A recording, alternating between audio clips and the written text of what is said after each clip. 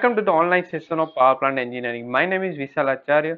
Today we will discuss about the labyrinth packing and uh, losses in the steam turbine.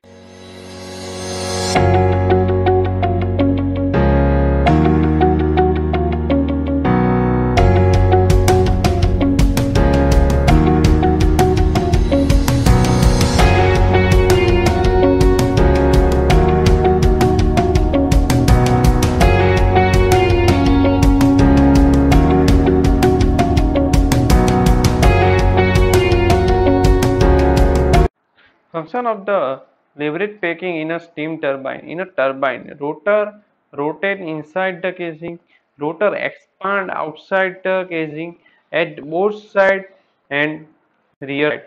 The portion from where the rotor exits the turbine casing is called the gland and there is a chance of the steam leakage and atmospheric air ingress to the front and rear gland respectively. So it is required to seal the portion to prevent the leakage of the steam and atmospheric air ingress. Gland at the front end is called the front gland and rear is called the rear gland. To reduce the pressure difference between the atmosphere and inside the casing, set of the labyrinth seal are provided. As discussed earlier, this labyrinth seal causes the pressure along the rotor but only the labyrinth packing is not sufficient to prevent the steam leakage of the steam or air.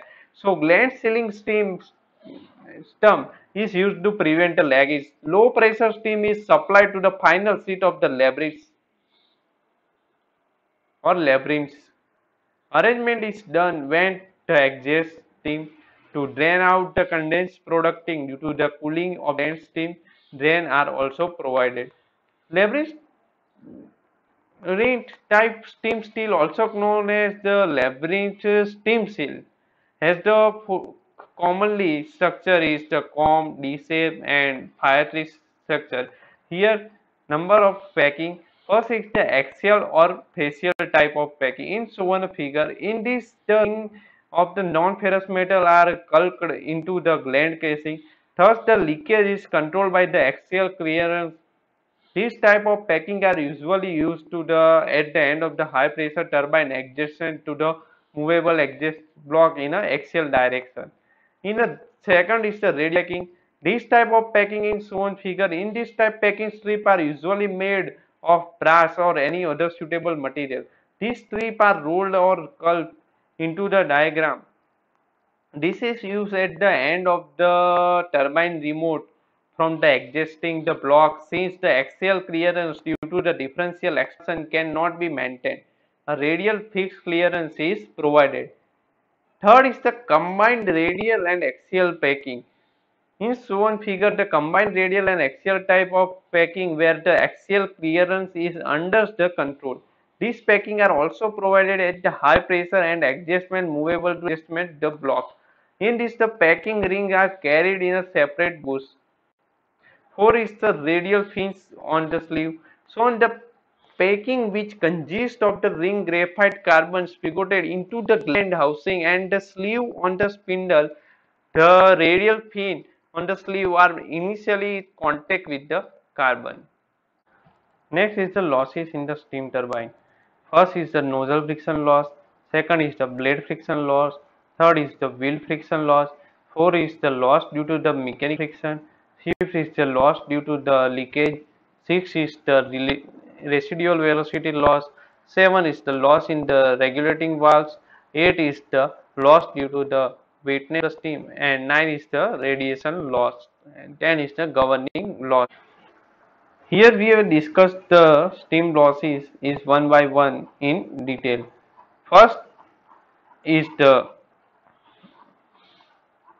nozzle friction loss it is very important loss for the impulse turbine. When the steam pass to the nozzle, the friction loss occur and the formation of the eddies friction occur in the nozzle due to the factor of the nozzle efficiency and is the ratio of the actual enthalpy drop to the accident enthalpy drop. Second is the blade friction loss. The loss is important of both impulse and reaction turbine. Blade friction loss is due to the steam gliding over the blade and friction of the surface of the blade.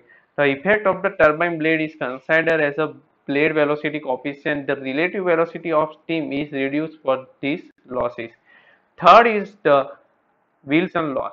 Wheel steam pass through the rotating turbine wheel. It produces some resistance on the turbine wheel. As a result, it rotates in a lower speed from the original speed.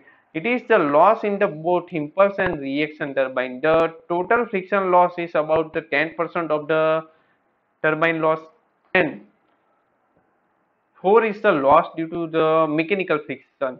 This loss is for the turbine bearing and mechanical friction loss is due to the friction between the shaft and wheel bearing and also the regulating valve of the turbine. This loss means maybe the proper lubrication of the part of the turbine. This loss occur both the impulse and reaction turbine. Loss due to the leakage. Leakage loss is uh, different in both impulse and reaction turbine. In the impulse turbine, leakage loss occur between the shaft bearing nozzle and stage diagram. For the reaction turbine, it may be occur at the blade tip. This loss is due to the leakage of the steam on each stage of turbine and total leakage loss is uh, 1 to 2 percentage of the total turbine loss. 6 is the residual velocity loss. When the kinetic energy of steam leaves from the turbine wheel, it happens actually steam leaves from the turbine with some certain absolute velocity. That's why steam losses kinetic energy and residual velocity loss can be reduced by the multi-stage turbine. Each loss about uh, 10 to 12 percent in a single stage turbine. Loss velocity in the regulating valve. Before the entering the steam to the turbine is passed to the boiler stop and the regulating valve. Steam gets throttled in this regulating valve. As a result, the steam pressure will be less than the boiler pressure at the entry of the turbine. Loss due to the wetness of the turbine. This loss is uh, due to the moisture present in the turbine. When the steam passes to the lower stage of the turbine, it becomes wet at the lower stage the velocity of the water and the steam are different and will not be form of the homogeneous mixture. That's why the velocity of water particle is less than that of the steam and water particle. Has to be dragged with the steam and some part of the kinetic energy of steam is lost. This uh, loss occur both the impulse and reaction turbine. Next is the radiation loss. This loss is mainly take place due to the temperature difference between the turbine casing and its surrounding atmosphere. This loss can be minimized by the heavily inserted turbine and this loss is in both impulse and reaction turbine. Next is the governing loss. It is the loss in both impulse and reaction turbine and this loss is due to the flow of the steam at the main stop valve of the governor. Thank you.